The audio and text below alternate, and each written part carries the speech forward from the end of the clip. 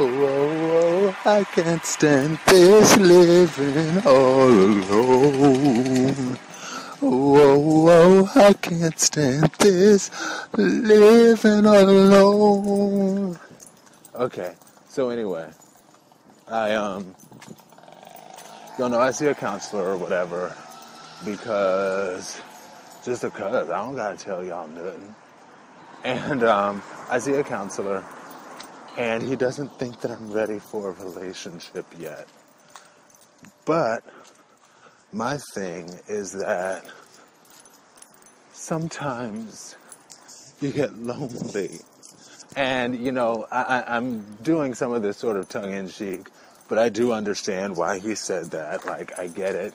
I understand. It makes sense or whatever. But, um, sometimes you do want that special someone that you can just just bun. You know what I mean? But he says he doesn't think that I'm ready. And I'm not gonna lie, I got a little smart aleck with him. And that I um I, I didn't get I don't want to say I got smart aleck, that's the wrong word. But um I did ask him, I was like, Well, Mr. Jones, are you single? You're telling me that I need to stay single, but are you single? And he was like, Well, Aaron, I am not at liberty to answer such questions for you. And I was like, Well, see, what about do as I do and not just as I say? You know? But um, he was like, Well, no. And I get it. Like, it's because, oh my gosh. In his opinion, he feels that I will subconsciously sabotage any relationship that I enter at the time just because of my, I don't know, insecurity, maybe?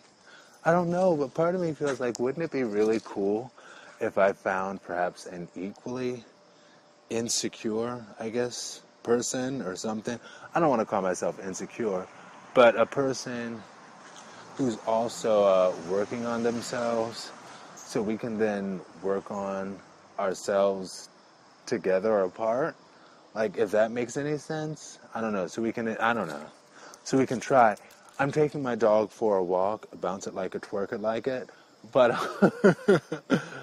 and she wants to sniff everything you guys. I'm sorry. But um, i guess this was just me giving a moment talking about how sometimes everybody needs somebody. Sometimes everybody wants. Good girl, make pee pee. Good girl.